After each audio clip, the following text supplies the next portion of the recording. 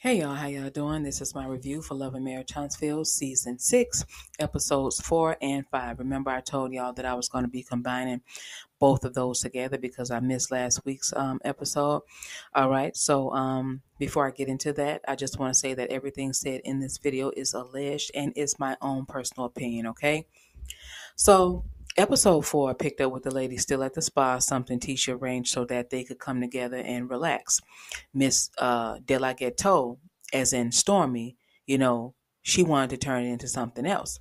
So Keke and Tiffany were steady going at it because Tiffany was running her mouth about some shit she didn't have nothing to do with. So, you know, Keke didn't give a fuck about her being pregnant, but Tisha did. She got up and tried to calm Keke down, you know, grabbed her face a little bit, not violently, but just to get her to focus on what she was saying, which was that they were there to relax, not argue. And she didn't want Tiffany to get worked up and go into an early labor, I guess. That's why, you know, Tiffany should have stayed her ass at home or made a deci- uh, decision to just shut the fuck up while she was there. She should have stayed her pregnant ass in the other room where she was. Stormi chimed in and was saying how Keke was speaking on the infidelity issue at Mel's Christmas party. Tisha told her that, you know, she wasn't going to talk about that anymore and let's not bring it back up. Stormi continued saying that there was all these people saying that pretty much Marsau was out there cheating and Keke was there validating it. Stormi told Keke if she felt a way about her saying something then she should have said something right then at the party because as a cousin that's what she would have did. My thing is if you know you speaking on some shit that you shouldn't be speaking on which is somebody else's marriage why the fuck do you need somebody else to tell you to shut the fuck up? Just because someone else is speaking on it don't mean that your ass got to join in.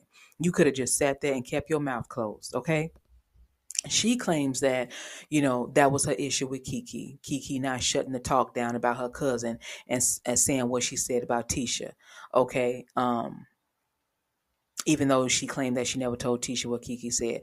Mel decided that it was too much for her. She didn't come there for that. So she got up, kissed, and hugged them goodbye, and pretty much told them that she was going to catch them later. And before she left, she told them that she didn't think that that was what they desired and that they all should work, you know, to get what did she say? They all should work to get things going in a direction that they all wanted to go, which is not with a lot of what they were doing. Stormi felt like it wasn't nothing wrong with them carrying on like they were carrying on and said that what's crazy is when they can't sit around and talk like that and keep things bottled up inside. And that's exactly why people shouldn't invite her ass nowhere since she think that's how things should be done. Stormi felt like it was all good, wasn't nobody mad, and that was how you move forward. You move forward, okay? By keeping your mouth closed and stop speaking on shit that ain't got nothing to do with you. Mel told them that if that's what they think is proper, you know, conversation, then that was their opinion. And she left after that, okay? So, in other words, Mel was trying to say that she was worldwide now, okay, and couldn't be engaging in the ghetto of it all on camera. I guess she just started this season because I can't forget how she was hanging off her truck last season, screaming like she was an extra in the salt and pepper video. Okay, but we gonna keep it moving. But anyway, Mel in her trench coat walked up at it, bitch. Okay, and left them to continue what it was they were doing. Tisha felt like it was good that they were talking. Keke said, you know, she didn't see no resolve, and Tisha said that that was why, you know, they weren't in a good place because she couldn't see no resolve. Keke didn't give a fuck though. Tiffany was like, we never um got our massages. And I said, well, that's because you let Stormi talk your ass into going into the next room to start some mess. You know what I'm saying? So y'all, in the next scene, the guys, as in Martell, Marsau, and Maurice, met up at the batting cage, but it was looking like Martell had swung by the neonatal unit, okay, and stole some of the baby shorts. Now, that's the motherfucker that need to be on Crime Stoppers, okay? He was up in that bitch with those little ass shorts on and a motherfucking skull cap on. Okay? I was like, is it summer or is it winter, nigga? It can't be both with your retarded ass. Then he gonna tell Maurice that it was cold as shit outside. Maurice said, I know. So why the fuck you got on those hoochie daddy shorts? Martell dumbass, he stayed confused. Gonna fuck around and catch pneumonia in the kneecaps trying to be cute with his ugly ass. So Sheree called him while he was there, and I guess he sent her the voicemail. Maurice was saying how um, I guess he didn't know he was still messing with Sheree because last time he saw he was chasing Mel about the door with his stalkerish ass. he asked Maurice what that had to do with Sheree. Um, he was like, I was being a gentleman. That's the mother of my four beautiful children. I've always been a gentleman, gonna always be a gentleman. I just wanted her to be safe. This is what Martell was telling um uh Mar- Maurice, whatever his name is. Just lying, okay? I was like, nigga, stop with the bullshit. Cause a nigga who wanted the mother of his four beautiful children to be safe wouldn't have been fucking other bitches without a condom and bringing his nasty dick ass back home to his wife. And he definitely wouldn't have been leaving the house to go to his personal gym, which was Arionne's bed during a fucking pandemic, then bringing his ass home. Okay? Could have had a disease. All right? With one of them being COVID that was killing many people. So you fucking clown, zip it. Okay? So Maurice asked him how Sheree was handling that. Marsau was like, not Marsau. Uh yeah, Marsau, because Marsau had walked in. Okay, he wasn't there at first, but he had walked in later. So Maurice had asked Martell how was Sheree handling that. Marsau was like, you know, Martell can date. Maurice said that, you know, a double-minded man was unstable in all of his ways. Martell is definitely unstable, okay? So Marsau told Martell to just play the field and date. I was like, nigga, he been doing that, even when he was married. Okay? Even when he was married. And you should know, because your foul ass was helping him do it. Martell was in a confessional saying that he didn't know why everybody was so interested in his dating life. Like, nigga, you around here calling the paps just so they can see who you supposed to be dating. So it's like, shut the fuck up. People talking about your dating life, you know, is what's putting a few dollars in your pocket. Okay? It's putting a few dollars in your otherwise empty ass pockets. So Marsau asked him what else he had going on besides Sheree. Martell told him that, you know, he was about to have the unveiling for the upscale magazine. Um, so he was about to put together an event to celebrate the lies that he told in the magazine. Because that's all the fuck he did was lie. And the biggest lie was that he would rather spend time with his kids than have a million dollars or whatever the fuck he said. But at the same time, he was suing his ex wife for custody so he could get a million dollars. Just a whole ass fucking clown. But anyway, Marsau asked him what exactly was he gonna be doing. And he told Marsau that he was looking for a venue. Maurice asked him if he was going to wear another stole or two, and Martell said he was going to leave that in Atlanta. He must have read the comments and realized how silly his ass looked with no shirt on up under a suit jacket, okay? and then a dead ass fox around his neck at that goddamn uh, wine lunch in Atlanta. That's one of the reasons, you know, he didn't let Mel get her shit up out that house, in my opinion, when she left, because he knew that he had planned on wearing some of her shit. So Maurice asked him if he was inviting Sheree. And he said that he was, okay? Martell began to tell him how over the past two years he felt like his favor was stripped of him. Um, that's probably because he's operating as the devil, okay? But anyway, he feels like it's coming back. I guess because he, you know, he has an opportunity to earn a few dollars of Sheree's check by lying to the world about them being a couple when the only thing they are is a couple of clowns, okay? Maurice said, I think struggle can definitely help uh, build your character. I was like, well, he got a lot of motherfucking struggling to go because his character is still in the trash.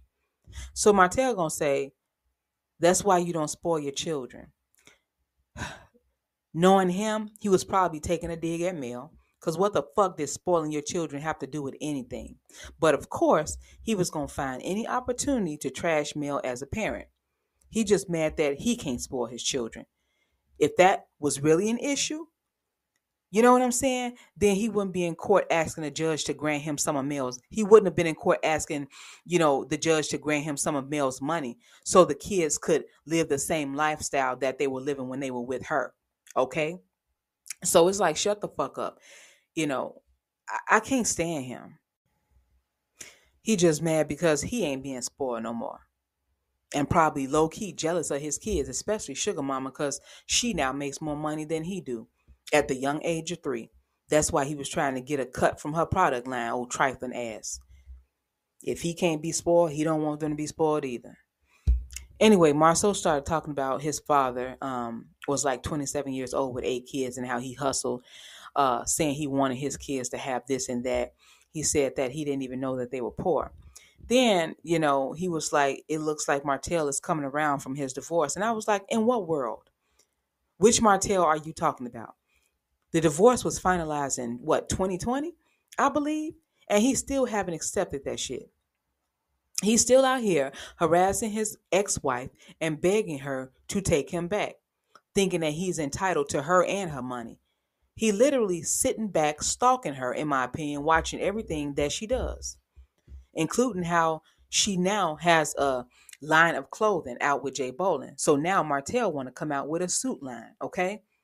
He can't seem to separate himself from Mel because without her, he has no sense of direction. Without Mel, he has no sense of direction. So he copies everything that she does. Okay? And when it doesn't work out for him, he gets mad.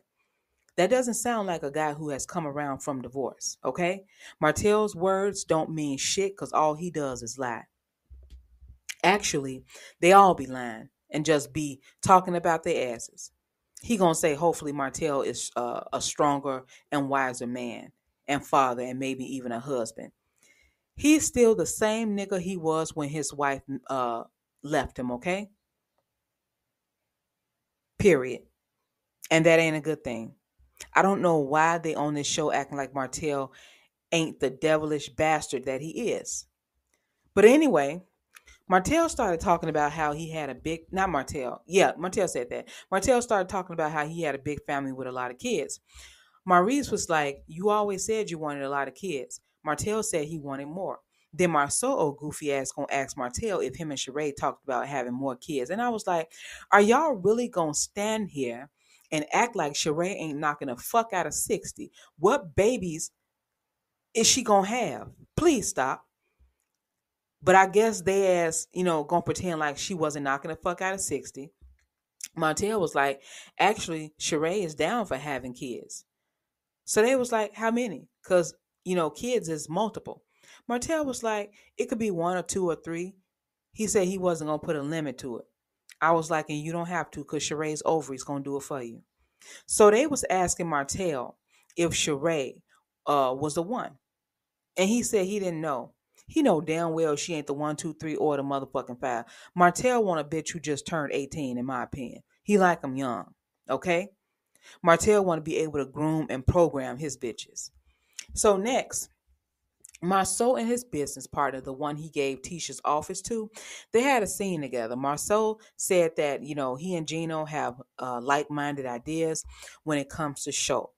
I guess, you know, fuck his wife's vision. He gonna ride with Gino's. He said that he feel like Gino may have strength in the areas where he's weak and feel like, you know, they can have a very complementary relationship. Apparently, their relationship trumps the one he has with his wife, okay? So they started talking about the project that they're working on. Marsau told him that they both would draw a salary and that they would be um, there would be a profit share, and that you know they were dating. His business partner then told him that if he was going to treat him like he treat Tisha, he didn't want you know he didn't know if he uh, wanted to marry him. So anybody with eyes can see that Marsau is a terrible ass fucking husband and treats Tisha like, you know, he fucking crazy. So Martell, not Martell, um, Marsau went into telling Gino how he dated Tisha for a month before he said that, you know, he think he wanted to marry her. And it's now going on 17 years. So I guess that was Marsau's way of letting Gino know that it don't take long to see if their partnership is going to work out. But if it does, he's in it for the long haul, I guess. So he told Gino that them coming together was big because it was black power, two black men coming together. Now, if he can only come together with his wife. But anyway, Marsau was saying how Schultz is a small company, but Gino came from a big company and worked with some top people. He told Gino that he had that big business thinking. And, you know, Gino told Marsau that the main thing is that they operate like a big business, even if it meant Tisha approving expense reports they need checks and balances. He was telling Marsau that they need to make sure that even though, you know, they're coming together, Tisha is still involved and can sit in because she's an asset to the company. More like, you know, the fucking owner of the company. So she says. So Marsau was looking at him. Um, Marsau was looking at him like, I know you ain't saying my wife got to be involved in this. So he told Gino that, you know, he looked at him as a friend, not just a business partner, and started telling him how he was torn because, you know, his perspective was that he thinks Tisha knows his thoughts when it comes to a husband, but not as a businessman. He didn't even make no sense, y'all. He was just trying to come up with an excuse as to why his wife shouldn't be a part of what they were doing with his assholish ass. He was like, I tell her about everything I'm doing out there, but when the bad stuff happens, I shield her from that. I'm like, I, I, I can't stand myself. I was like, what the fuck are you talking about? What bad stuff? As in the multi million dollar lawsuits that are allegedly against your ass? That would tell her that you don't know what the fuck you're doing as a businessman. Oh, okay. That's what you're talking about? So Gino asked him if he was shielding Tisha from that because he didn't want her to be worried about finances. Okay.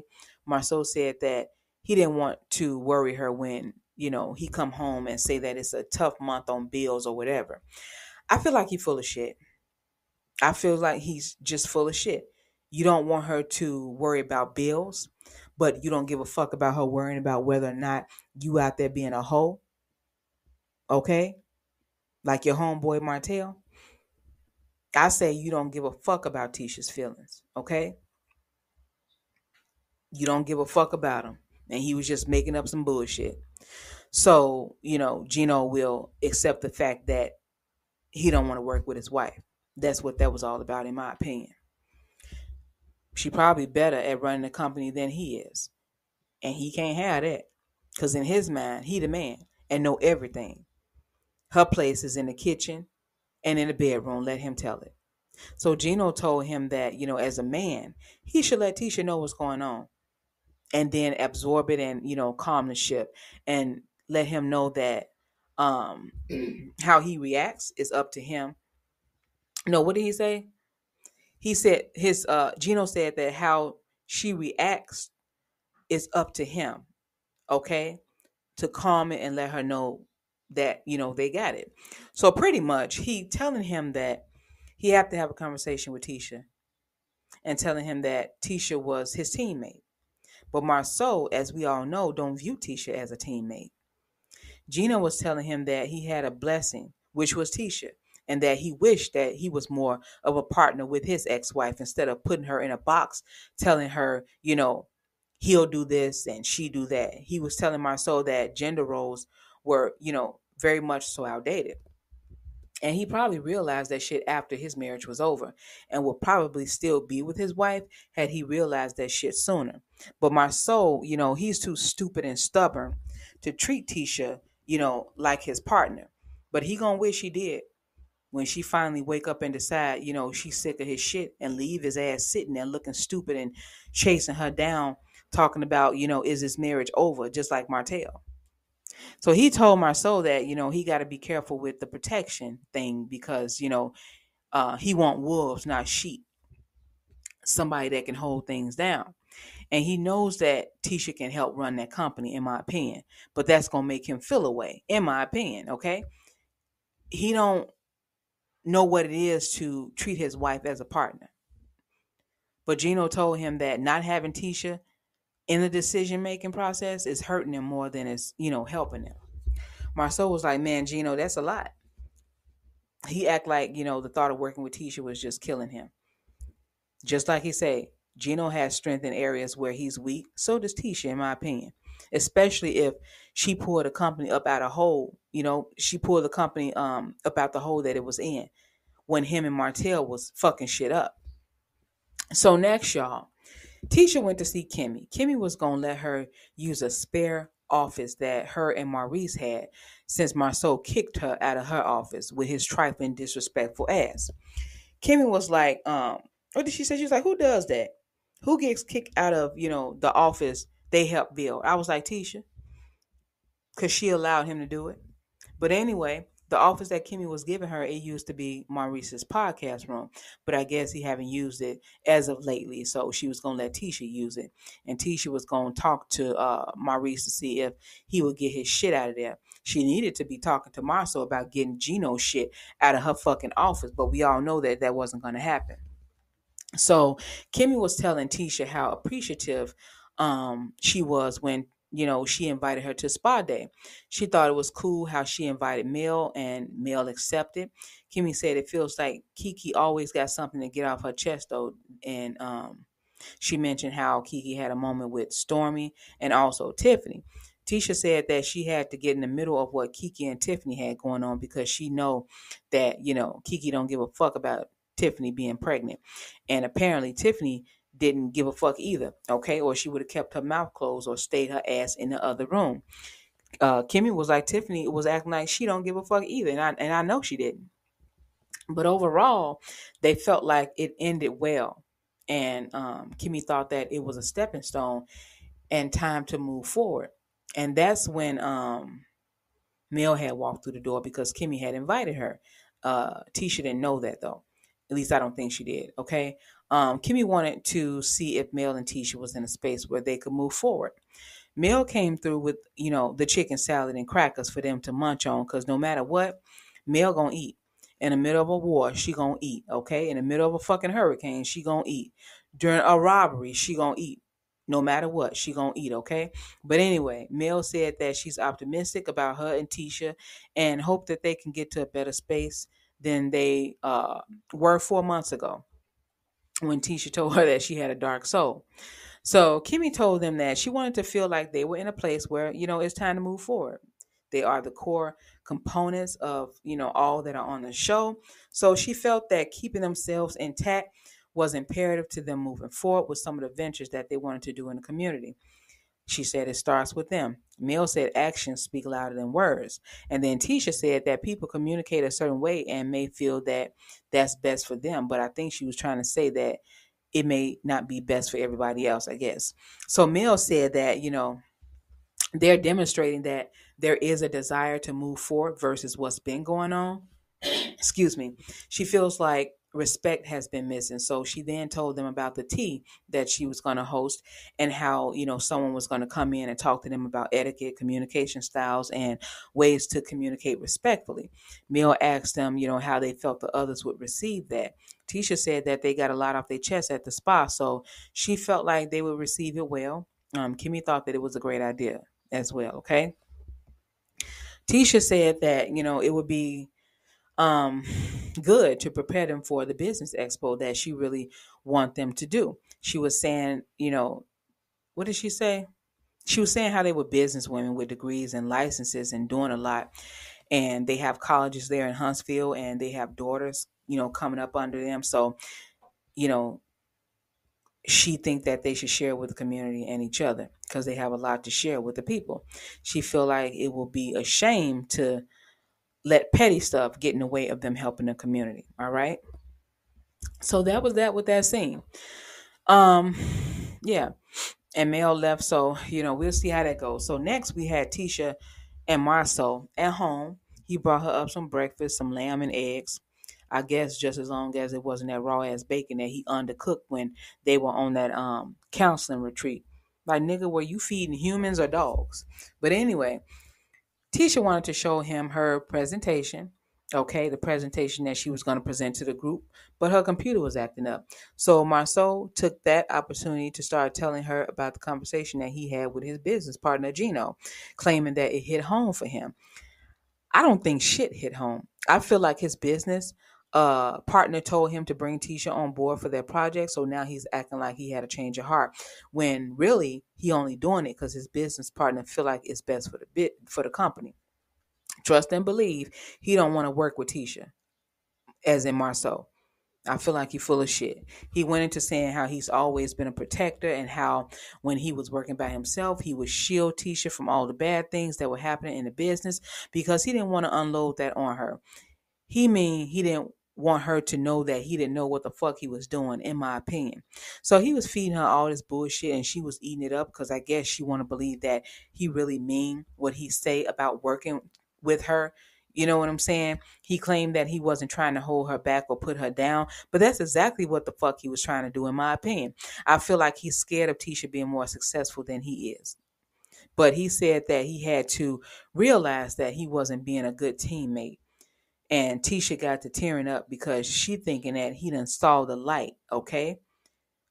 When really he was just trying to keep the lights on. So if his business partner telling him he need Tisha, he gonna pretend that he do and allow her to be on board with that project he tells her that he gonna always try to be better and i was like in the business or the marriage because in the marriage it looks like you are content with being an asshole but anyway tisha said that she was happy because you know she was like hoping that it would get better and i guess excuse me i guess felt like she you know was about to give up and then here he comes with the fake shit making her think you know he's really a changed man he then, you know, told her that he felt like they should sex it out. And I almost threw up in my mouth a little bit. Now, moving on to the next scene, y'all. The original six came together because Tisha had invited them because she wanted to pitch, you know, them an idea. So Martell, Maurice, Marsau, Kimmie, and Tisha and Mel, you know, they all came together. Martell came walking his ass in, and I'm like, nigga, why are you here? What business do you have? Your motherfucking ass ain't even got a builder's license. He talking about he was excited that Tisha could get them together. I bet he was excited because he got to be in the same room with the person he been stalking for the past three fucking years. That's the only reason he came, in my opinion, other than to see if they was gonna have some free food. He said that he was in a good space, even though him and Mel had their challenges, you know, and you know their courtship. Um, but he was gonna try to keep it professional any space that Mel was in was a good space for him because he missed that old thing, okay? You know what I'm saying? That thing that he said wasn't satisfying him. Plus, it's like, nigga, y'all in court because that's where the fuck you drug her to with your bitter ass. So Tisha and finally arrived 45 minutes late, though, okay? Um, she saw Mel in her fancy dress and asked her where she was going afterwards. She knew that it was going around that Mel had a new boo. And Mel was like, This is called happy, happy and blessed. So I guess she wasn't going nowhere afterwards. She was just looking good just because and showing Martell what his ass lost. So anyway, Tisha got the presentation started, hoping that she could get everybody on board. She pretty much wanted them to participate in a panel or presentation at the expo, highlighting their business because between them, they have a variety of different businesses. Martell was like, um, what did he say? Oh yeah. No, was that Marsau or whatever? I'll get to that later. But um Martell was looking like, oh, am I included in this? I was just here for the food. When you look at Martell, it's like I just I, I I just don't understand. I just don't understand. Why are you there? Like seriously, just take this shit in. He do not have not one successful business. Okay? He just there. But anyway, he was uh, I don't even know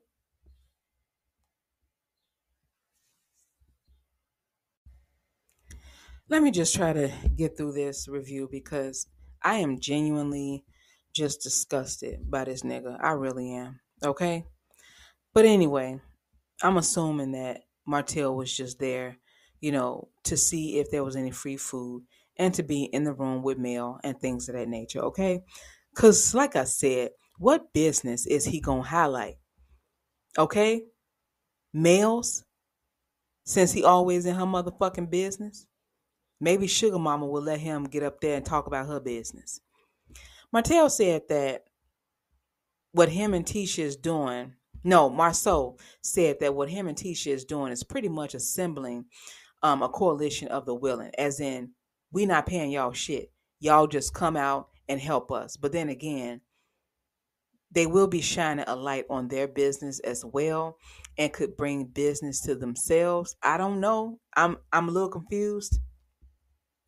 So Tisha asked them what they thought about the presentation that she did.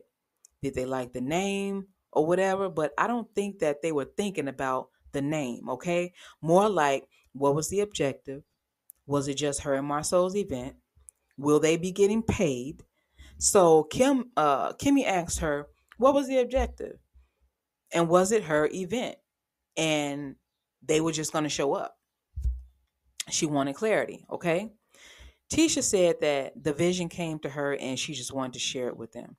Kimmie said all she was hearing was Tisha and Marsau repurposing the comeback group and trying to sell it back to them, the original comeback group, because the idea wasn't, you know, new or original.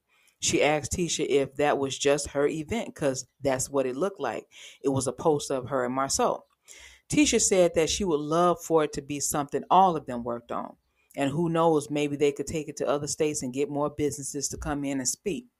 She said that they usually just talk about, you know, things and she wanted to this time kick shit off, you know, get the ball rolling. So Mel said that she thought that the idea was amazing and then asked Tisha what was the budget for the speakers and the panels. Tisha was like, What do you mean? Mel was like, The pay. Tisha said, Oh, you mean how much I was going to pay people to speak? So, about that, I wasn't paying them shit, pretty much. But I'm not mad at Tisha. However, she can't get mad at people if they want to be paid because it is their time, okay? And their time is valuable. If they want to do it for free, great. If not, I understand. Tisha said that, you know, she wasn't going to pay anyone to speak um, because, um, yeah, then Mel had asked her, okay, yeah, so, yeah, I'm, I'm a little confused, but hold on one second. So I was just looking over my notes. Yeah, so Tisha said that she wasn't going to pay anyone to speak because she wasn't charging people, you know, for the event. It was going to be a free event. I guess it would be different if she was going to profit from it. I guess because, you know, it was helping the community. She assumed that they wouldn't mind working for free. So Tisha was like, if y'all want to get paid a fee, we can talk about it, but I would have to charge the people to come. So Martell bum ass gonna whisper to Marsau and tell him to um ask Mel what her fee was. He always putting somebody up to some bullshit. Like what the fuck? Why are you worried about her fee? Her fee ain't none of your motherfucking business. Just know that whatever it is, even if it's one cent, your ass can't afford it. Oh, nosy ass. He remind me of one of those gossiping ass women. He's sitting up there worrying about somebody's fee when he need to be worried about his ears because it looked like them bitches was about to fly straight the fuck from his head. He's sitting there looking like something straight out of Star Trek. Ugh. His ass shouldn't even be there because he has absolutely nothing to showcase. Not one successful business, not a drop of knowledge or anything. Nothing he can share. But he want to get there and start mess. Little bitch ass nigga. Martell, walkie talkie, broke Alicia Holt. Taco meat beard ass bastard. Nasty mouth ass munch. Illiterate asshole. I can't stand his stupid ass. How the fuck you at a business table with no business? Always trying to sit at the table and bring absolutely nothing to the motherfucker but drama, empty pockets, and stupidity. So Mel told him not to ask her shit because it wasn't none of his motherfucking business. Even though that was one of his requests in court. Broke bitch, bum ass bastard. Ugh. And I was just thinking, if he ain't been able to pass that builder's license test, that means he don't know what the fuck he doing when it comes to building anything. Mel was the one making the money in a marriage. And just to think, he wanted to go around telling people that he was the breadwinner. But he can't win shit now that he not married. Such a fucking loser, in my opinion. Ugh. Mel told Tisha that she or someone from her management team would email her her fee. So next, y'all, Kimmie asked Tisha what was her marketing objective. Was it going to be just social media or personal invitations or what? Marsau said that him and Tisha were going to use their platform and he was asking that they do the same. So Mel was up in that bitch like, show me the money. How much y'all paying for posts? So Tisha was like, we not paying for posts. Mel says sometimes she do contracts for speaking. Um, she said it's one thing to be on a panel speaking, and it's another thing if you want posts. Tisha was like, I don't know if we're gonna be able to afford your ass. While Mel was charging fees, she should have charged Martell ass one. Cause I know it took a lot, okay? I know it took a lot of work for her not to vomit looking at his ass. That's a whole fucking job in itself. Like, pay me for my pain, Mr. Broke Ass. But she know he ain't got shit. Mel said, um, if it was meant to happen, it'll pretty much happen, okay? Tisha said that she would love for everybody to be a part of it, but she ain't trying to pay an arm and a leg. Mel told her that, you know, that's what sponsorship is for. Tisha said they could raise the money, but she want to make sure that everything makes sense financially. Mel felt that Tisha and Marsau had good intentions when it came to the expo, but she wasn't working for free. She said just because her and Tisha were back talking don't mean that she was doing favors. And I get it. Kimmie asked Marsau how, you know, um, Kimmie asked Marsau how was him and Tisha going to go about things before Mel mentioned the sponsorship. Marsau said it was just going to be a labor of love because he wasn't charging or paying shit. So he then pulls out some champagne to toast. Kimmie was in a confessional talking about what are we toasting to because ain't nobody agreed to shit. And, you know, maybe they were just toasting to an idea. But she said that she was going to need a lot more clarity before, you know, making a decision. A decision. So Kimmie said, you know, she was confused and was trying to figure out if something, um, uh, she was trying to figure out if it was something that they were doing to help plan the event, or you know, were there going to be multiple meetings, or are they just showing up?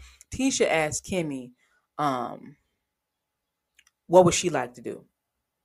Kimmie just wanted to know, you know, the original vision and was it just her and Marsau's event?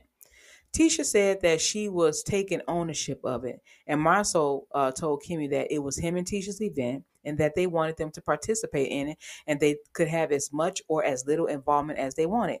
So that was the clarity that Kimmie was looking for. After that, they toasted, and Mel was glad because she was ready to go. I know she didn't want to be sitting across from Martell having a look in his disgusting ass face. Anybody that fucks with him is just sad and pathetic. Ugh. But anyway, folks were ready to go because they had been there for a minute. I mean, Tisha and Marsau, um, they did come in 45 minutes late, and Kimmie was like that one student in the classroom that kept asking questions when everybody was just wanting to leave. So Marsau, you know, he was like, details coming soon. And then they all stood up to clink, clink their glasses. Okay. Martell gonna say, so we toasting to that? They should have said, no, nigga, we toasting to your bum ass finding a motherfucking job. Tisha felt like the meeting uh, didn't go as well as planned and didn't know if Kimmie and Mel was going to be on board. Marsau reminded her that, you know, that was the original six. So I guess compared to all of their other meetings, he think it went well. And that was that for episode four, y'all. So now let's get into episode Let's get into episode five, y'all. Okay, so this episode opened up with Stormi's Where's Waldo looking ass and her husband walking into the warehouse to have a meeting with her employees. Why the fuck her and Courtney walk up in that bitch and all Stormi had was about six employees? Now she has five because she fired her cousin in this episode. How the fuck you got uh warehouses full of product, okay? And only five motherfucking employees. Make it make sense. That's why people ain't been getting their shit because she ain't got nobody there to send the shit out. Then she had the nerve to try to blame them for having orders backed up and the company losing money. No, bitch, you're the reason the company is losing money, in my opinion, because you should. Are you kidding me? You should have enough common sense to know that your ass gonna need more than five or six employees to push the products out. Everybody walking around like, you know, these strong business people and don't know shit about business, apparently. She talking about, you know, whenever the customer's order is behind or whatever, she offering them a, a free gift or tell them to take something off their order. And I feel like she lying because the way some of the customers were talking, they ordered last year and still haven't received their shit. And, you know, she wasn't giving no refunds from what I heard. So what exactly was she returning or taken off? I feel like the scene was, this scene was just for the show. Her business is failing in my opinion because she don't know how to do business. How the fuck is you coming out with new products and still got people who haven't received the old products yet? How the fuck are your customers supposed to get their shit when you ain't even got enough people there to send the shit out? And the ones you do got there ain't doing shit or either doing too much. You know what i'm saying? And they worn out. Like because i feel like they probably there doing the best they can while her ass probably working them like slaves, in my opinion, then gonna get on this TV show to try to make herself look better by blaming everything on them. Then she got the nerve to cry. Like, girl, if you don't go sit your ass down somewhere, then she gonna tell them that as a leader, she feel like she wanna always take accountability. I was like, her and Martell got a lot in common. Not only are they liars, but their definition of accountability is blaming everybody but themselves. She told them that, you know, they were a family and she wanted them to start acting like it or working like it one. She said she feel like she dropped the ball and should have came more. I was like, yeah, you should have came, but brought like 500 more employees with your ass. So yes, you dropped the ball, in my opinion. You dropped it right down on your motherfucking head. She was talking about when she built the business, she saw it as a vehicle to help other people. It looked like Stormi was in Walmart one day shopping, okay? She was in Walmart one day shopping and randomly asked a few folks that she saw walking around if they wanted a job and then gave them the address to her sweatshop and put them to work. Okay, now they of the working conditions and like fuck it. And before you know it, orders are backed up and she over there making new shit, but ain't asking herself who the fuck gonna keep buying from her if they, you know what I'm saying, paying their money for shit and ain't getting their shit. And she telling them no refunds allegedly. And it's like the problem she having didn't just start. People saying they ordered last year and still haven't received their shit. So what? She waited months later till she was a part of the cast to address the issue with her team. And I don't even know if I should call it a team because she only got like six damn workers. Also, I don't understand her. I don't understand her, Destiny, and Martell's thought process. It don't matter how many new products you push out there when you still the same motherfucker behind it. The same motherfucker who know these people ain't receive their shit, but you allegedly don't want to give them their money back. One would think that that's probably because your ass ain't got it to give. You know what I'm saying? You ain't got it like you out here trying to make folks think you got it. I heard some interior decorating people suing her ass now. Okay, not just Apex for that 1.7 million. I guess her employees are responsible for that too, huh? So she asked her employees if she could do something. What could she do different or whatever? One of them, you know, the one who looked like he had skipped out on AA just so he could be, you know, there for work. He said that um she needed to get more labels. Then the employee that was a cousin said that she needed to get more hands because he was the only one on production. When the others need help, he got to stop what he doing to go help them. Okay. Then that leaves no one on production. And then he have to hear them as in her and Courtney on his ass talking about why you ain't doing your part when he's helping others with their part. And I was gonna say, you know, when I first saw only six motherfuckers in that warehouse. I was thinking, what happens if somebody gets sick and can't make it to work? What happens if somebody got to take a mean shit? What happens if one of them find another job and decide to quit because none of them looked happy? Okay, I doubt if they getting paid anything different from what they would make at the Dollar General. Okay, then what? What happens? So when her cousin told her that she needed to get more hands, Stormi challenged um, challenge that saying that she feel like they're not operating at the maximum capacity okay so basically she was telling her slaves that they weren't picking cotton fast or hard enough okay so she tells him that before they bring in any new hands she has to see more productivity okay but don't she need to bring in more people to get more productivity she don't really want no outsiders coming in because she was like there can't be no holes in the ship. I was like, girl, it wouldn't make no difference because your shit's starting to sink anyway. It already has holes in it. And you one of them. So bye and take your laughing ass husband with you because ain't shit funny. He can't keep a serious face for shit. Probably because he knows that, you know, he's a part of Stormi's skit. Then he gonna tell the employees that if they don't like what Stormi was telling them, you know, like putting in more work, then they can leave. And it's like, y'all can't afford to let nobody go because they to fuck around and not have anybody there. When you only got six employees, you can't afford to let anybody go until you at least find a replacement. But anyway, that was all with that scene, y'all. Okay. Next, we're gonna move on over to Mel, who was having a meeting with her team to talk about everything she had coming up. And the difference between her and Stormi's team was night and day. They actually acted like they wanted to be there, and you know, they acted like they wanted to be there doing what they were doing. That's probably because Mel didn't randomly pick their asses from off the street and she probably paid them what they're worth. Plus, she fed them during her meeting. Stormi employees looked like they were hungry, thirsty, bored, lost, and probably a few more things, okay? But anyway, Mel wanted to help Tisha and Marsau with their business expo, but first she had to see if she had any more room on her plate to partake in anything else. So, you know, her team, she wanted to meet up with her team and see what they had going on for the year. So her team started telling her what they had lined up for her. First, her chemist was there and was speaking on how well 7th Avenue was doing. So her chemist is real, okay? Because you know that in my opinion, Stormi was implying that Mel's chemist wasn't a she was implying that Mel's chemist wasn't a real one.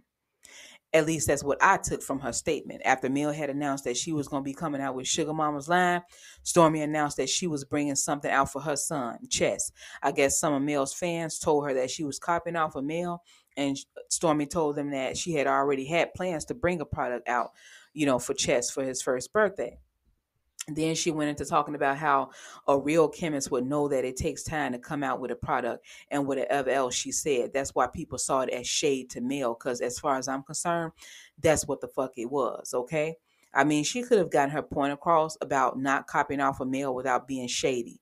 You know, it made it made it seem as if she don't like it when other black women are out here doing their thing. But anyway, her chemist was saying how she launched 7th Avenue in February of last year, and it had generated over a million dollars in sales after just a few short months. So it has been over a year now. So I'm thinking that the company has made several million dollars. Okay. Um, that was for the chick who came through here the other day talking about do we really know what Mel is worth because she be capping. Mel never got on TV, like I said, saying what she was worth, but we knew that Mel was making some nice, you know, money, okay? from her businesses. Even before she started 7th Avenue or any of her current businesses, she had a million dollar company with her real estate. So just, you know, I just wanted to throw that out there. She started with her grass cutting comp- uh, grass cutting uh, business before any of that, and then she had Holden Holt, which is now dissolved, but it was a money maker. Okay, Mel been making money. She has a property preservation class, a Seventh Avenue, her Sugar Mama products, Okay, she has this show and she has a grandeur business. I think that's what you call it, and probably some other shit that I'm overlooking. But anyway, a director, a producer from her team said that he and uh, her manager Don had been around shopping a movie, and they wanted her to be the lead in it. So of course, Mel was excited about that. Um, her senior publicist was telling her that she would be able to go around to different high schools to talk to them about how to start their own businesses. And that was throughout a course of six months.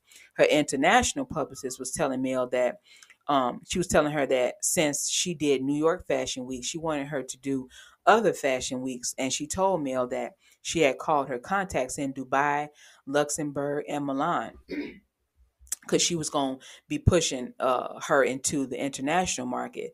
So Mel went into saying that whenever you're on a mission and in purpose, God put certain people in your life to help you on that mission and purpose. And she's grateful to have all of those beautiful black successful people there to help her reach her dreams and her goals. Okay. And I love how everything was just so organized. Like she had everybody from whatever she was doing, whether it was fashion, speaking engagements, movies, or, you know, her beauty brand, they all came together in one room just to discuss the moves they were making to help push her to where she was trying to go. So I like that. So after the meeting was over, her and Don sat and talked. And Don was checking in with her about, you know, how she was doing mentally and emotionally with everything that was on her plate. Mel said that it was a lot because for the past few years, she's been pretty much dealing with a life crisis, which is her divorce and the aftermath of it, pretty much. Okay. The kids' lives were disrupted because their daddy decided that it was more important for his ugly ass to go out there and be a hoe than it was to be a faithful husband. So he could, you know, so he wouldn't tear the family apart. Don went through a divorce too and was telling Mel how important it was to do mental health checks because, you know, you get so busy that I guess you don't pay attention to your mental. I feel like Mel keeping busy has helped her through the process because it allowed her to, it allowed her mind to be on other things and not just on how stupid, okay, this nigga is. It allowed her not to just think about how this stupid motherfucker that she invested um 14 years in, okay, decided to risk it all for a bitch he didn't even want to be with in real life, okay?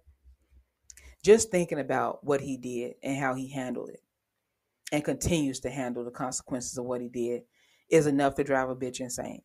And that's what Martell wants. He wants to see Mel crumble.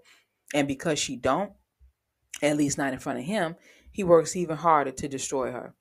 And so far, nothing has worked. But he continues on with the bullshit, like the dumbass that he is. Okay? Martell Martell can't have a team of people in the room discussing what it is he have lined up because they would get there and just be silent because he ain't got nothing going on other than you know trying to see what the fuck Mel is doing. Mel got her line with Jay Bolin, and now he want to try to come out with him a line of suits like somebody gonna buy the shit. Like, bitch, please. But anyway, okay. Mel was telling Don how much um no, um she was telling Don how as much as she could um she wanted to give her kids some kind of normalcy. Uh they were used to life one way and then it changed abruptly. So she tries to do some of the things that she was doing with the kids before the divorce, like vacations and, you know, going to different things and just doing some of the stuff that they were doing before the divorce happened. Then she went into saying how Mariah and Malia's birthdays were about a little over a week apart. So she was throwing them a joint skating party and she was looking forward to them having some fun and being surrounded by people that, you know, they know loved and cared about them. And in my opinion, that wouldn't be their dad, which is why, you know, his being here, funky ass, demonic ass wasn't invited. Mel said that she needed to be in a place where she could be her best self and where she would be most productive for her and her children and everybody don't fit into that space. So she had to be careful who she lets into her personal space. And that is why she didn't invite the bitch ass daddy because all he want to do is disrupt somebody's peace because he ain't got none of his own. He is walking around acting like he not doing nothing to Mel and don't understand why she don't want to deal with him. Whole time he got her ass up in court trying to take her babies away from her but he talking about she trying to hurt him. Like niggas ain't it's it's just the craziness for me. Ain't nobody thinking about his ass. At least not on purpose. It's like you are fucking disgusting and that's why you mad. Because she ain't thinking about your ass. She moving on with her life without your sorry disgusting ass. If she really wanted to hurt you, she will walk the fuck away from that show and leave your ass penniless. Cause it ain't like you got shit else going on outside the show, you fucking bum. Besides being a hoe. And that apparently ain't paying shit clearly. Cause your ass still broke. You sitting up there plotting and trying to count what, what's in other people's bank accounts. Cause ain't shit in yours. And the next scene, y'all, we had Tisha and Marsau. They were hosting the slutty vegan event in front of Black, okay? And, you know, they're hoping to do some business with them in Huntsville. In case some of y'all didn't know, Slutty Vegan is a black owned popular food chain. They sell vegan food, of course. They got a chance to talk to um, the director of sales to see what she thought about bringing a Slutty Vegan restaurant to Huntsville. I mean, it just may work because the people were definitely lined up for the food. They had a good turnout. So Tisha started giving the person from Slutty Vegan a rundown on who her and Marsau was. She was telling the lady that, you know, they were looking to put their business in the black community. She was telling her how her and Marsau developed the um, plaza that Black was in. And she was telling her that Marsau is a general contractor and she was a commercial realtor broker. And they wanted to know if they would be interested in some kind of partnership with them. Um, if they were looking to bring a slutty vegan there to Huntsville. The lady said that when they uh, do tours like that, they are looking to gauge the market. So since there seems to be a great demand for slutty vegan there in Huntsville, she wants to get them slutified. So bringing a slutty vegan to Huntsville may just happen and Tisha and Marsau, um, they would love to be a part of it. Marsau would love to be the builder on the project, and Tisha would love to be the broker who helps the chain find their location. Tisha is op- uh, optimistic about, you know, that happening. So we'll see how that turns out. So y'all, Kimmie and Maurice came out to support. Um, they met up with them down at Black, and they enjoyed some slutty vegan. All right, so they were sitting down, they was eating, and I've never had anything from that restaurant, but from the, this episode, I found out that they have some interesting names for their sandwiches. One of them was called the hooker, and the other one was called sloppy toppy. I guess it fits in with the whole slutty, you know, theme. Okay. Tisha was telling Maurice that, of course, you know, he likes sloppy toppy because he a Scott. I was like, he like it, but can he give it? Okay because he nor his brother look like they can reciprocate that shit, at least not in a way that would be satisfying. But I don't know nothing about them people's head game, so let me stop.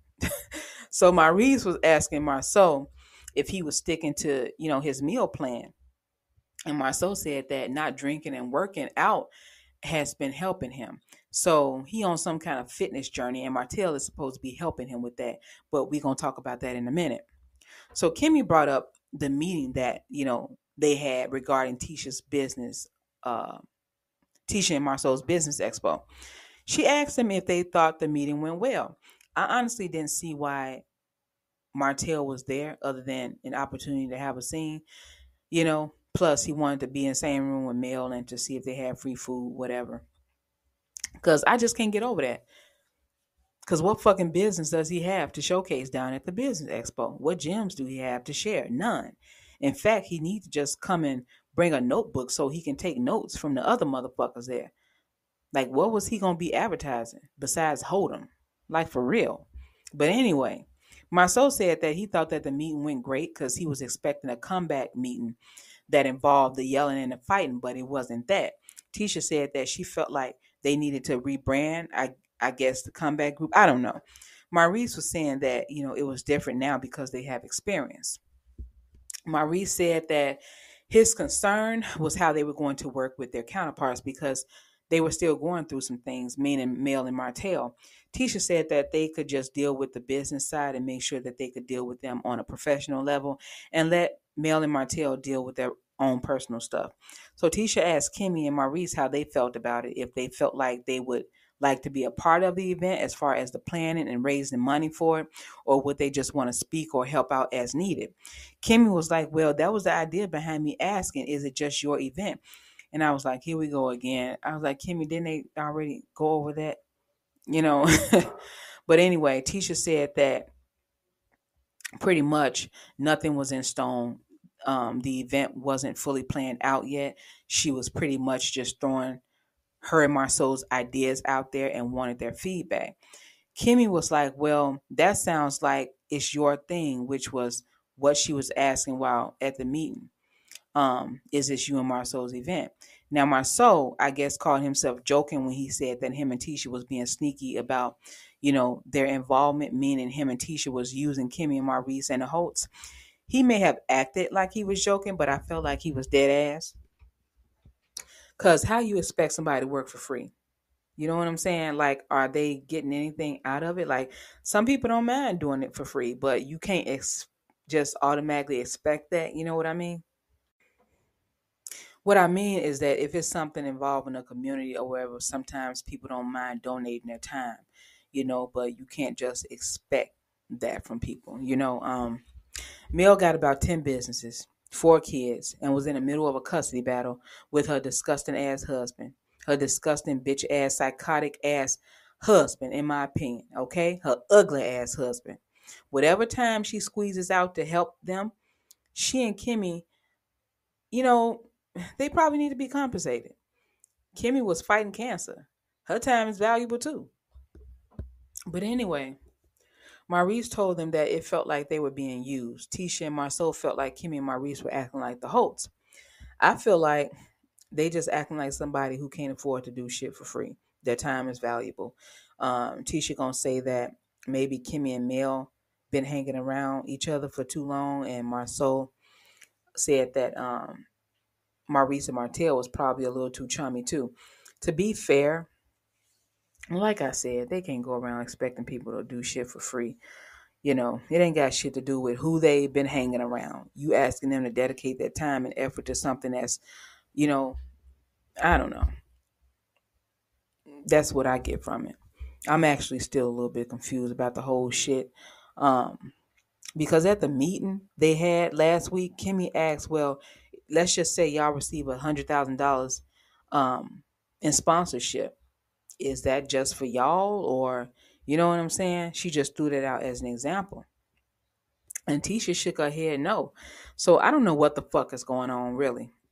Kimmie um liked the idea of the Black Expo and wanted to help out, but wanted to be clear about everything. Like, you know, uh, when you ask people to work and help, you have to realize that people want to know, you know, exactly what's going on. Are they going to be reimbursed in any kind of way?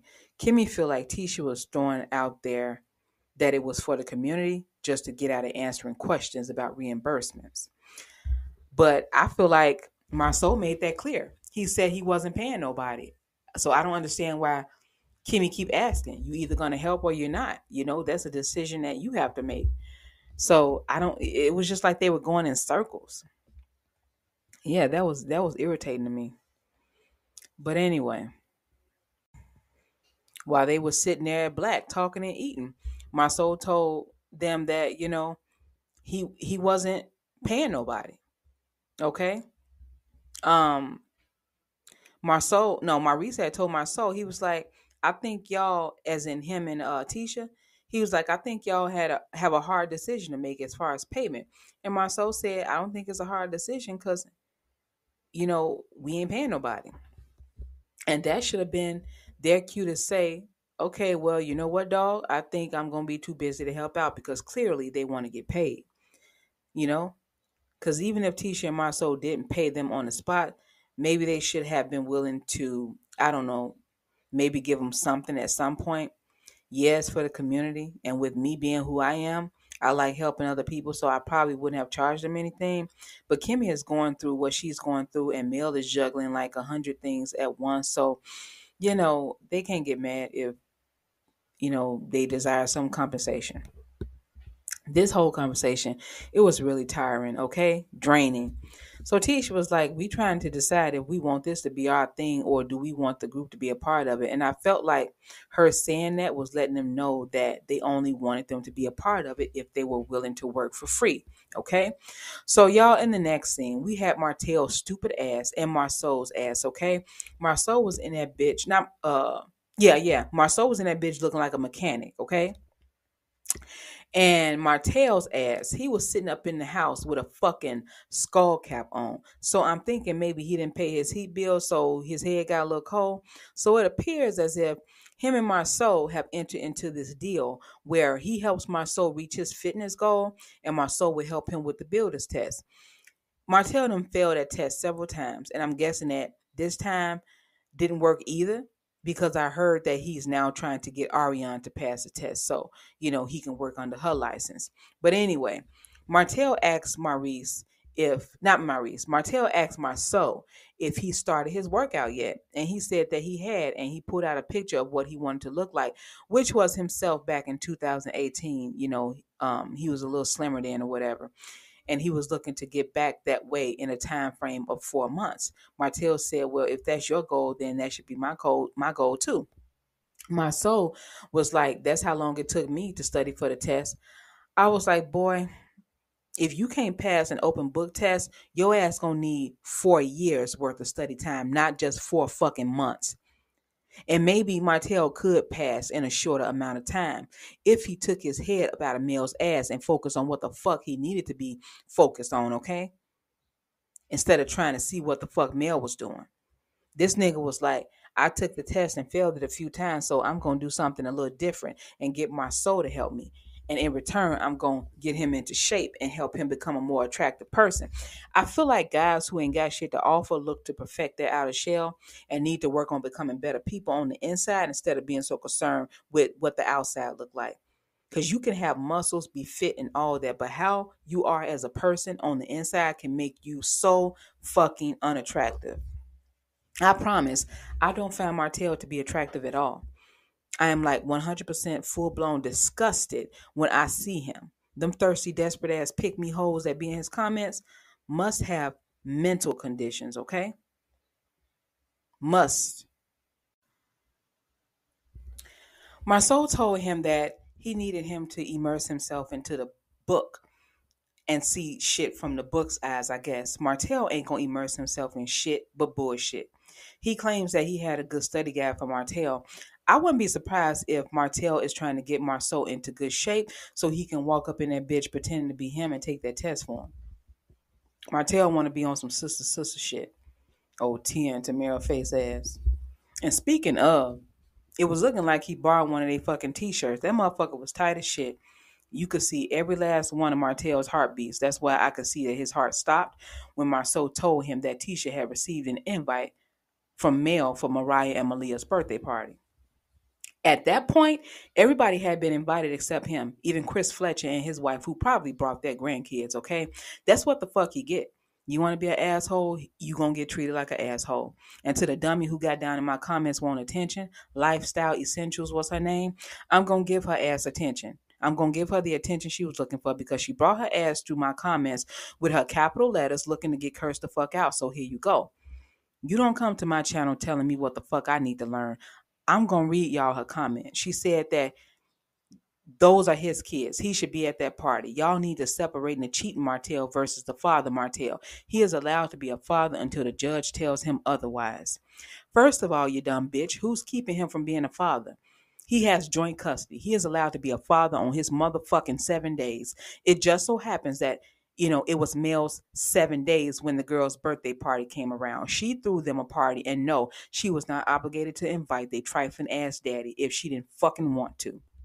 That was her money spent on that party and her court appointed time with the kids. You fucking dummy. You look like a bitch who let men run over you. So my question is, how's that working out for you? He is the one that destroyed the fucking family. So he got to deal with the consequences of that. And one of the consequences of that is having a separate life from his now ex wife. He should know, okay, about separate lives because he went and started living one. He started a whole new family while married and living with his other family. Since you feel like he's being kept from being a father, invite him to your kids' party. He apparently likes going to other kids' party, okay?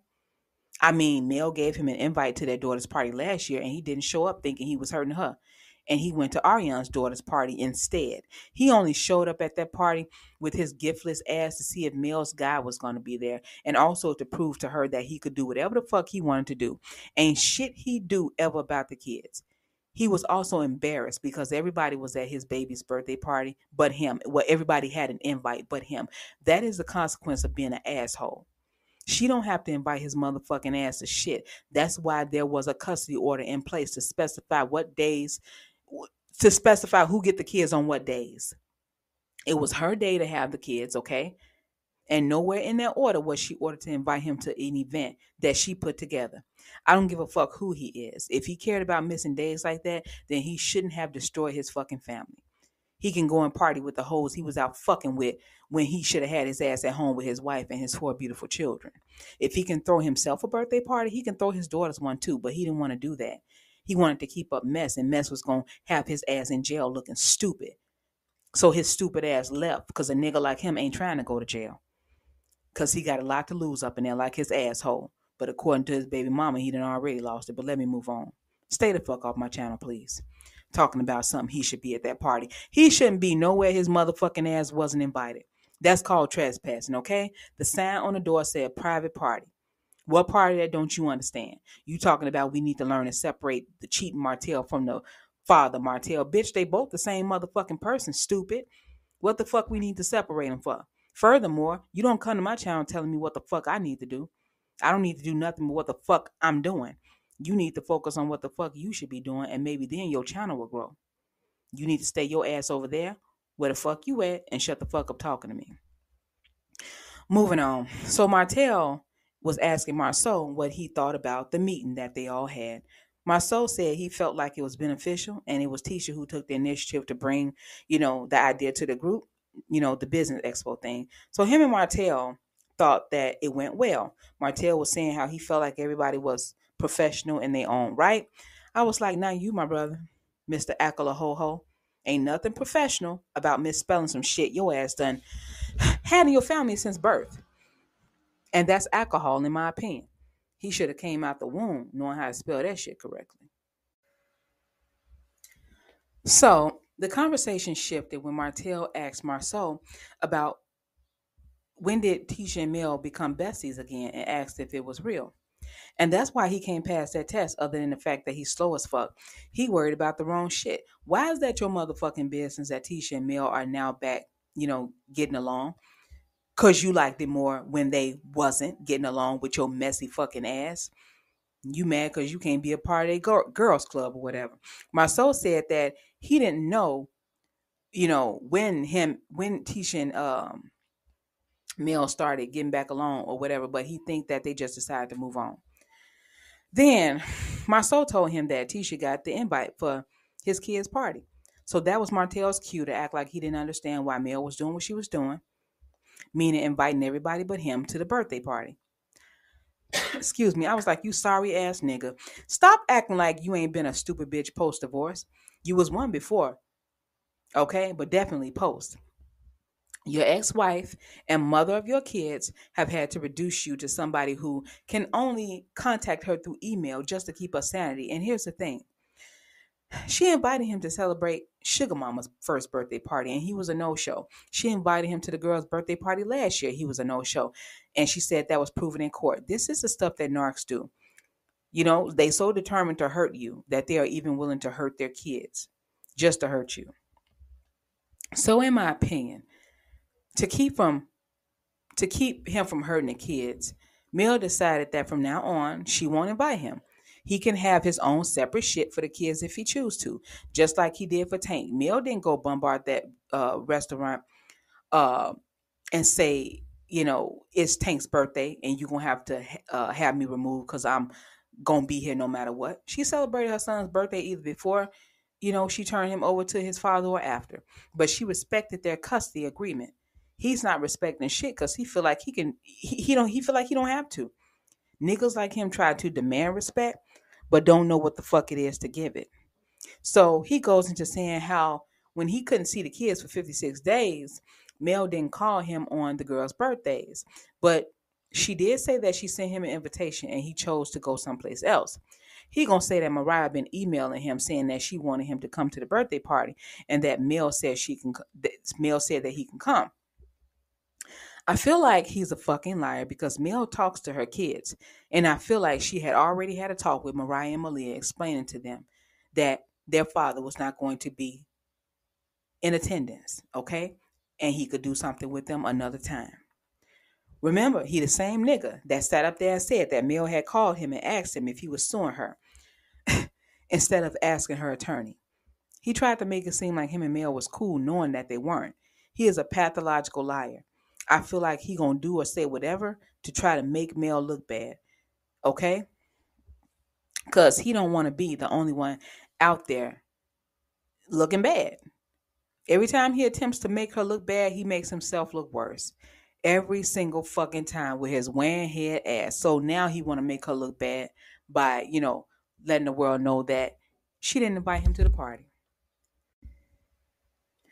So Marsau was like, Y'all still going through that? What do you think the problem is? And before Martell could even begin his lie, Marsau was like, now Martell.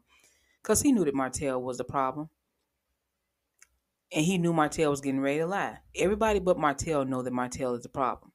But this nigga, Martellisha, sat up there with a straight face and gonna say, Mel didn't want nobody to see that she's actually working with him in terms of effective co-parenting. I was like, you stupid motherfucker. She been showing us that she has been trying to work with you when it comes to co-parenting. You fucking dummy.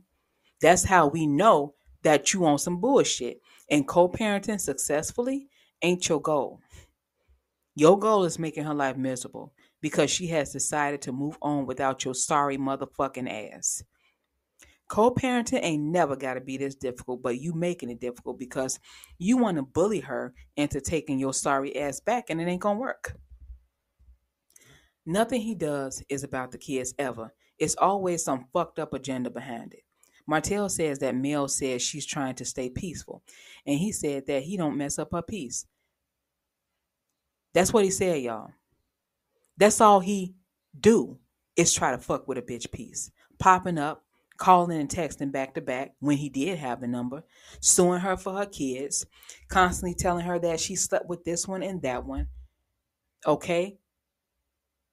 knowing that she didn't, trying to turn people against her, calling her a neglectful parent.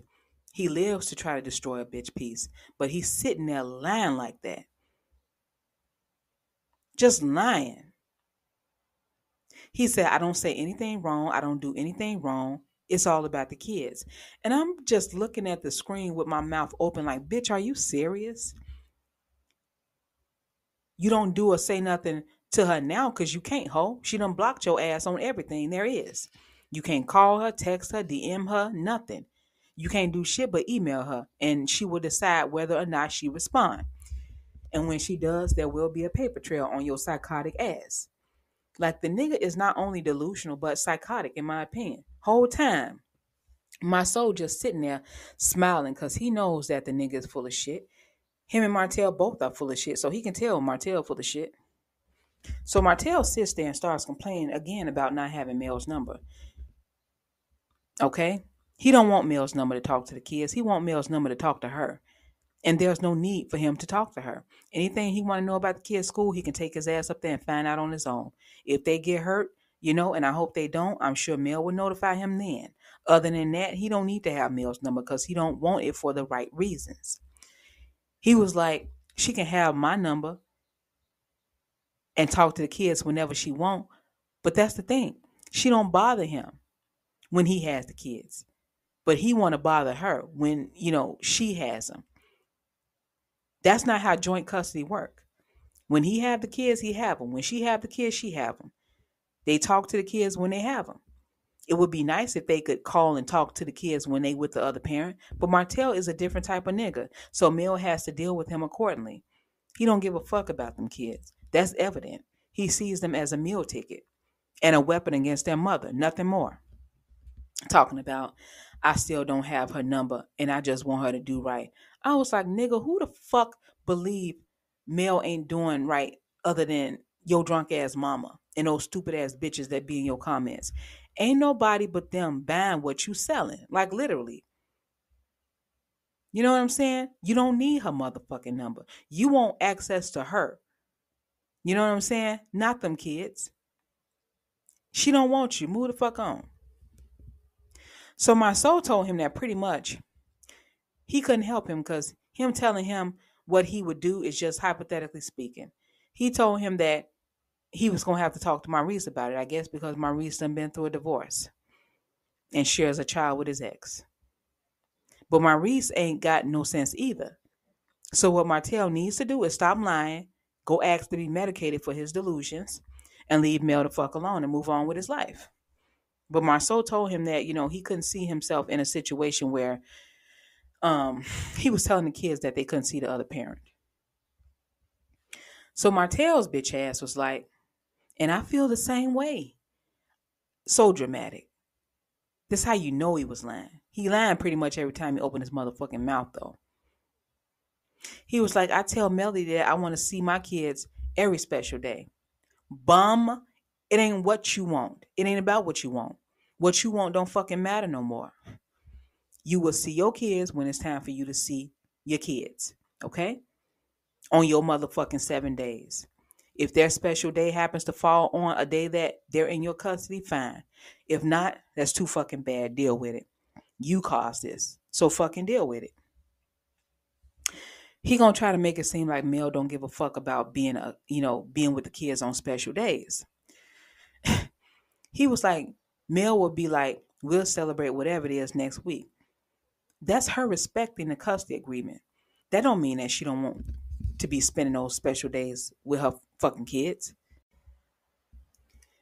His bitch ass always trying to make it seem like she don't give a fuck about her kids when he's the one who don't give a fuck about them. Okay? And she keep protecting his ass to keep the kids from really seeing that he really don't give a fuck about them, in my opinion. That's why their party was invite only. Invites to the people who care about them. I'm sure it bothers her when she have to spend the holidays without her kids, but she knows that she has to deal with what is. So she works around the custody agreement and makes plans to celebrate on the days that she do have the kids. Cause that's the adult thing to do. Since Martell is a child in the head, He can't understand that. So Martell was like, just because she feel like that don't mean I feel like that. That was him saying that he was going to do what he wanted to do. As in, Mel can celebrate the special days at a later date, but I'm going to celebrate them on the date that I want to celebrate them on, whether it's my day to have them or not. And that's exactly why she need to put a stop to his ass because he done already, he, he done already shown her what he gonna do. And, you know, I'm not to keep saying what she should do, you know, because I heard her, I was able to catch a few minutes of her live, and she was talking about an experience that she had a while ago where I, it sounded like she went to the authorities for help. Something happened, and I'm guessing that it was about Martell. She didn't say it was about Martell, but I'm thinking that it was, and she didn't get the response that she should have gotten from the police and she had to get on the phone with her attorney. You know what i'm saying? Before they the police or the authorities signed off on whatever it was. That's just what i took from it. I'm assuming that maybe she did. Maybe she had been trying to get something and you know I, I i just don't know. But um this is a mess. It, re- it really is. He is disgusting and he needs to be stopped. And, you know, I'm not going to assume that Mel ain't trying to do shit behind the scenes to stop him. But anyway, um, Mel did a live, okay, and um, she don't want the people telling her what she should do because everybody don't know everything that's going on, and what works for you may not work for everybody. Okay, that's what she was saying. Now I don't know if she was directing that towards the folks that you know, um, was saying that she should have let Martell in the party, or she was directing to the folks that was saying that she needs to get a restraining order against him. Could have been both. Maybe it's a part of, you know, her plan to let him hang himself, you know, um, so she can go back and get the full custody that she asked for. I don't know. But I feel like as long as she knows that this clown can be a danger to her and the kids, what else can you say? Okay. Um, I heard that from now on she's going to have security um whenever she filmed with Martell so that's a step in the right direction okay um somebody came through my comments and said that Mel had tried to get a restraining order against him but her request was denied I don't know how that person would know that information but that's what they said if that is true maybe she should keep trying cuz he has shown that he is unstable and he is on camera harassing her. If anything happens to her and she went there for help asking for a restraining order and they denied her restraining order, they will be responsible, in my opinion, okay? So his ugly bald head raising that looking ass was in the confessional saying that he feel like if it was about the kids, Mel should extend an invitation to him. First of all, you stupid ass bitch, it's never about the kids. And if you was a decent fucking person, she would have extended an invitation to your sorry ass. I mean, why not? She invited your broke, annoying ass on vacation with her and the kids. Nigga, it's you. It's you that's not doing right with your stupid ass, with your stupid bitch ass. He made me so fucking mad. Talking about he gonna make sure she's invited to what he throw. Of course you are, cause it's her you truly want to see, dummy. But she don't want to see you, so deal with it. So he ends the conversation by saying he's not letting up nowhere. And he meant that shit, which is why he has to be stopped. Right the fuck now. He said he not letting up nowhere. As far as I'm concerned, that meant that he was not letting up with trying to force Mel to take him back either. Okay. You know what I'm saying? Hopefully she gets licensed to carry like her mama. While he was up there hollering in uh, Van's face, he must don't know that Van is uh, licensed to carry. And if she feel threatened, she can pow pow his ass, okay? He gonna fuck with the right one one day. He is. But anyway, hopefully she gets license to carry. And if she don't, um, I hope eventually she get a restraining order against him. Even quit the show. But we gonna hop on over to Stormi scene so we can hop right back the fuck off because I really don't give a fuck about that. To sum up her scene, she was talking to Courtney about how her cousin, the Turnip King, his energy changed. She said he was starting to come in late and how it was good in the beginning and how he said he wasn't happy. Courtney told her that maybe he was tired of working for his cousin. So I guess that was his way of saying fire him because that's what she did. They probably decided that, you know, they were going to fire him before he quit so he couldn't get unemployment. And if they truly fired him and it wasn't just a scene for the show, that was stupid being that they only have six employees and he was the only one on production. So, what's she supposed to do now? Give her baby his position? I tell you what she could do. Put Big Mouth Betty to work, give her something else to do besides run her mouth about somebody else's daughter. She can take a break from that and help her daughter get them people they shit. So Stormi called her cousin into her office, asked him what was up because she noticed things were different. He said all he know is that it was cool in the beginning, but Courtney started riding him pretty much, always saying something to him about what he was doing or what he wasn't doing. Stormi asked Courtney if he had been riding him. And he said, yeah. He said he ride everybody, but especially him because he expect more because he is the cousin. Courtney was saying he was coming in late, but as far as the cousin is concerned, he don't be late according to the time clock and the grace period. Courtney said that he still be late, a few minutes late. The cousin said, Well, you can't help traffic. Courtney said, Well, that's why you leave early. He said, I try. Stormi said, What about working hard? He said he feel like he does work hard and do more than anybody else there. Then they were talking about the phones. He said everybody be on their phone, but Courtney only say something to him when he's on his phone. Stormi said her thing is she don't want the kind of energy that is between her and her cousin now. She felt like she was coming at him out of love and concern for their relationship, and he just wanted to be right. So she told him that they was going to have to let him go. So she said that um what did she say? She said that she um they grew up like brother and sister. And she not trying to kill that relationship over the bullshit that they got going on now. So she fired him. She said she fired him for business sake, but she also fired him so their relationship wouldn't go down the toilet. And that's if she even fired him. If y'all walked into Stormi's warehouse today, his ass will probably still be there. Okay? This shit was probably just for a scene for TV, because who fires their relative on TV? Plus, her business ain't just started failing. Why wait till you get on TV to fire him? Like, child, please. But anyway, Courtney asked him if he was going to see him at the house uh, that week, and he said, yeah. Courtney said that, you know, it was just business, so they were supposed to still be cool. Of course they are, because the shit was probably fake. Now, let's just move on to this last scene, y'all, with uh, Martell showing up at the kid's birthday party, uninvited. But before I get into that, I think Mel might want to send on a copy of the judgment, her court judgment, because OWN dropped a clip from uh, Saturday's episode. it was a clip that wasn't shown in the actual episode. Actually, um, did I say that right? It was a clip from the episode, but they didn't show it on Saturday. They dropped it afterwards. And it said that Martell dropped the custody case. And that is not true at all. Martell ain't dropped shit.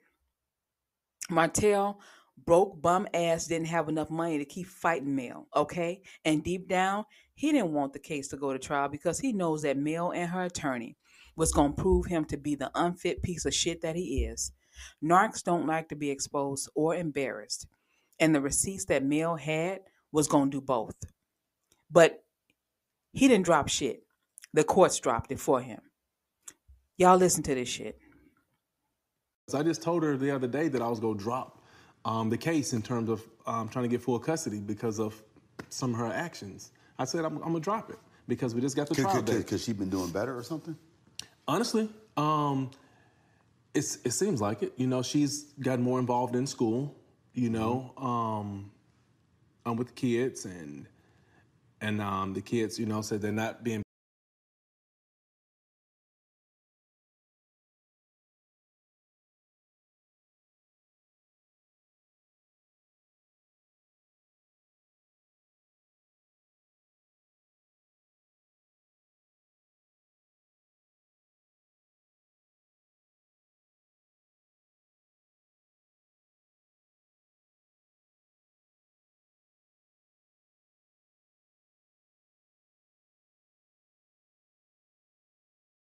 So it's like, first of all, you bitch ass nigga, you said that you told her that you was gonna drop the custody case because of some of her actions. You mean actions like her suing your broke ass to fuck back?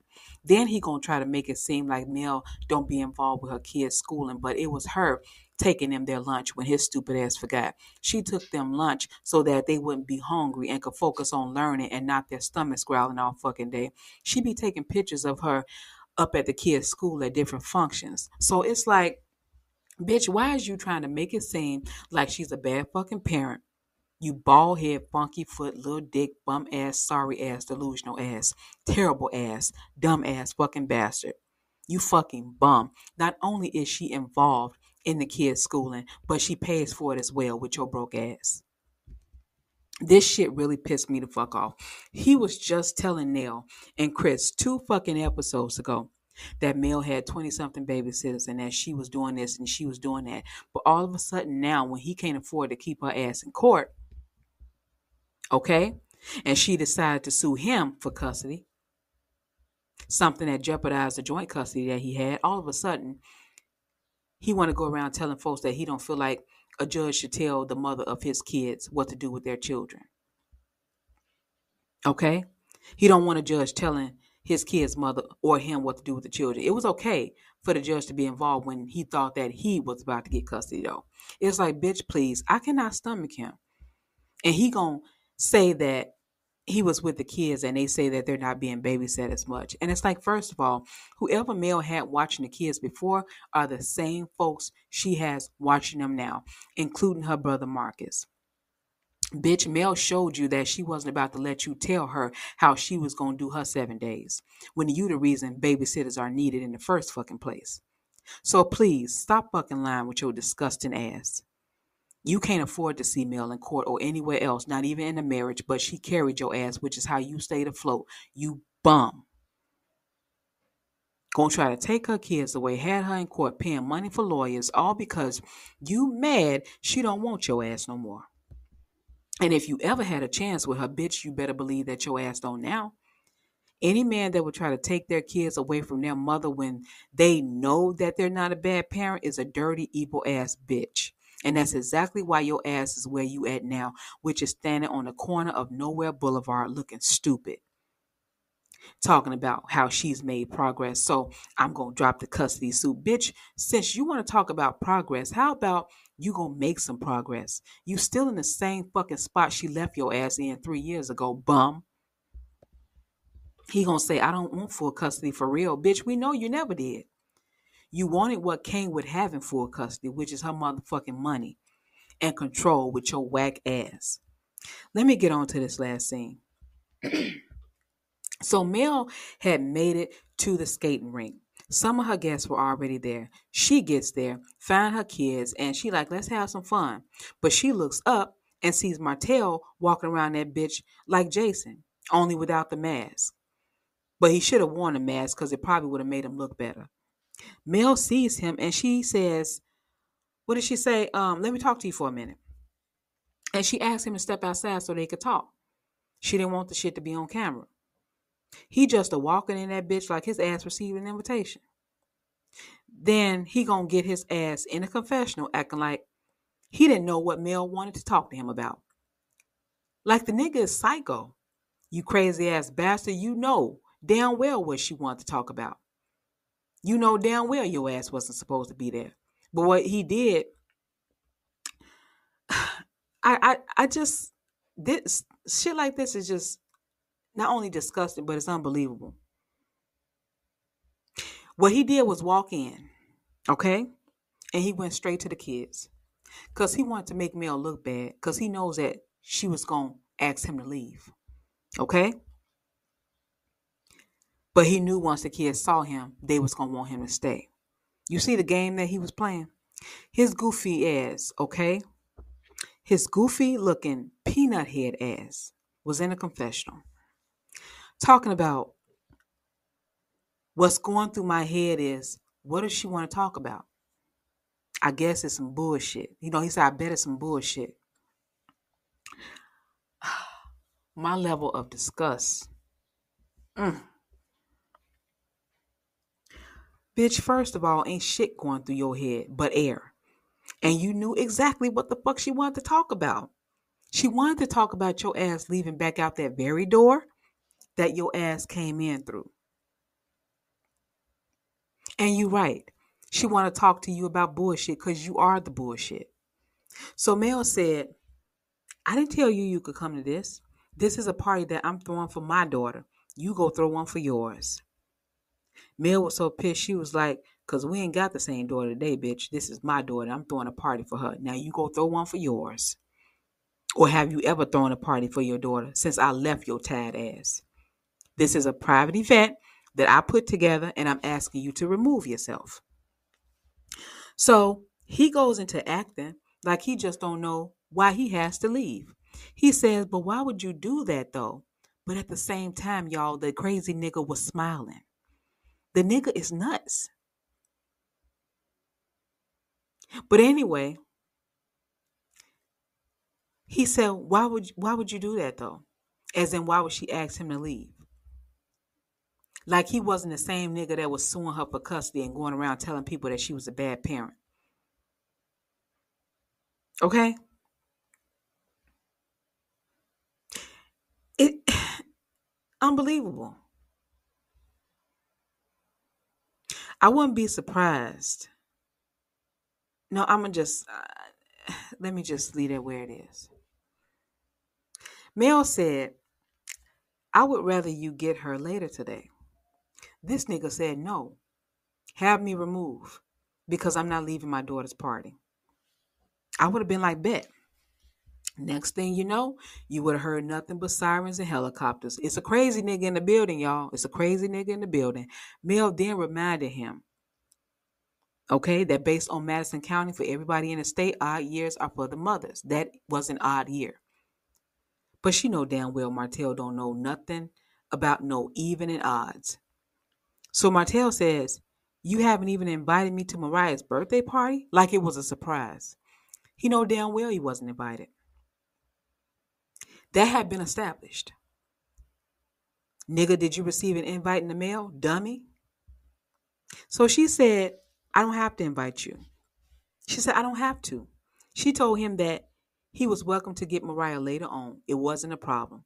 He kept saying no and telling her he wasn't going he kept telling her what he wasn't going to do, which was leave. He said he going to celebrate his daughter on her birthday, which is fine as long as he did it from home or anywhere outside the building and at a later time. So Mel was like, do celebrate her birthday, but later on. Later on is still her birthday. So Mel was in a confessional saying how she didn't want to make a scene at her baby birthday party, and I get it, because why should you know her kids and their guests be subjected to Martell's stupidity? So she said, you know, she was trying to lower the temperatures and keep the drama down. In other words, keep Martell from acting like the low class, bottom of the barrel ass nigga that he is, embarrassing the shit out of the kids. Mel kept telling him, You're welcome to get her later on today. I don't have a problem with that, even though I don't have to let you get her because it's my time to have her. But Martell kept saying, I want to celebrate her birthday today. So I was thinking, nigga, what if Mel wouldn't have thrown the girls a party today? Would you have even seen, would they have even seen you? Probably not. Because, like she said, your sorry ass ain't thrown none of your kids a party since she left you. Then, after he caused all that chaos, he never came to get the girls to celebrate with him. He had actually went to Atlanta, which was his plan from the beginning. It was never about the kids. Because if it meant that much to him to celebrate his daughters, then he would have came back and got them. But instead, he chose to do other things with his disgusting, stupid ass. I feel so sorry for those kids and also for Mel, because this all happened just by making one mistake. Her saying I do was probably the biggest mistake she could have ever made. But she was young, so I don't fault her for that. But anyway, Martella walkie talkie loose dick broke Alicia Holt was just there to show Mel that he could be there, regardless of anything that she said, and to see if her new nigga was there, of course. So Mel was, you know, trying to get Martell to leave quietly, and he refused. At that point, production had got involved. I believe it was production. But I also heard that some aunties had got involved too. I know Miss Van was standing right there. And Chris Fletcher had walked in. But Chris ain't gonna never check Martell because I feel like Martell got something on him. Or he just ain't used to all the ghetto-ness. I'm gonna go with the first one though. So Mel kept telling the dummy that later on was still her birthday. And he knew that. But he wanted to do what he wanted to do. And he had a screaming tantrum when he couldn't assert himself like he had planned on doing. Because the you know, the cops were going to be on their way. Mel said, even though it's an odd year, you can still get her. So Martell was like, You had them on you had them each on their birthdays. And she was like, and you were invited, but guess where you were? At another bitch daughter birthday party. He's saying he didn't get an invitation, but he lied so much. Plus, Mel said that it was proven in court that she had given him an invitation. Okay? So, Martell said, Van, stop. Van said, You need to step back. He said, You step back. And so someone was talking, and Van said, She not in this. Later on, I heard that um, there was Martell's auntie. He had brought some people with him. Okay. And I guess Van told her that she wasn't in this. And that's when Martell had screamed at Van and said, You not in this either. Mel told him that he could have a party whenever he wanted to. Okay? But he wasn't trying to hear that. He said, Call the cops and went walking into the skating rink. And Mel was like, Please don't make me call the cops and have you escorted out of this private event. Just disgusting. And knowing Mel, she probably had that court order in her purse to show the police that it was her time with the kids and that he wasn't supposed to be there. You got to stay ready for niggas like Martell. You got to stay ready for narcs and they bullshit. So when he told her to call the cops, he didn't really mean that because he took his ass in there to hug Mariah and also to manipulate the situation and probably told his daughters that their mama was making him leave. Damn right she was. Ain't nobody with sense mad at her about it. Now what? Get your ass out. He wanted to act like Mr. Tough Guy, but ran when she told him that she was going to call the cops. He'll scream and act like a donkey with women all day, but he ain't going to do it to a man or men with the authority to lay his ass flat. So he had his stupid looking ass, okay? In a confessional talking about Mel said that she was going to call the police on him and things of that nature and how, you know, that's been Mel's thing. He said that Mel has called the police on him multiple times and every time things have gone in his favor. If they've gone in his favor, then why the fuck was he running? Stay there where you at and let it go in your favor again. Nigga, you have no favor. You have enablers motherfuckers who have been willing to help you. You know what I'm saying?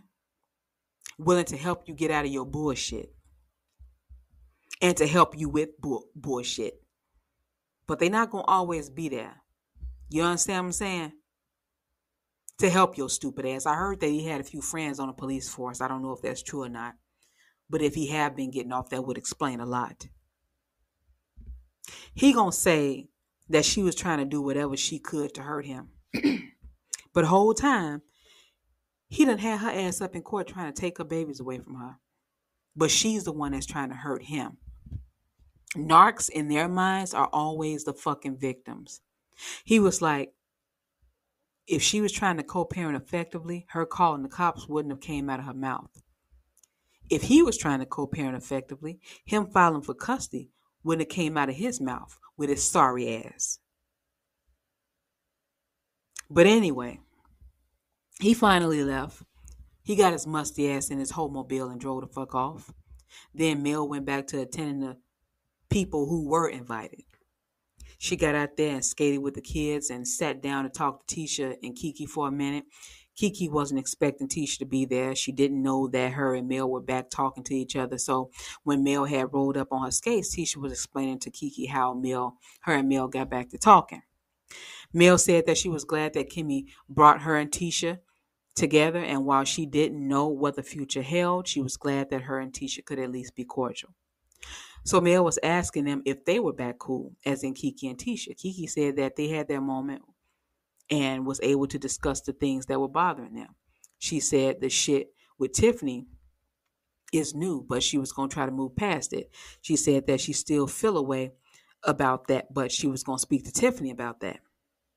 She said she was telling, um, no, um, then um, Keke was telling Mel that Tisha was telling her about the tea party that she was supposed to be having. So Mel invited Keke to that as well.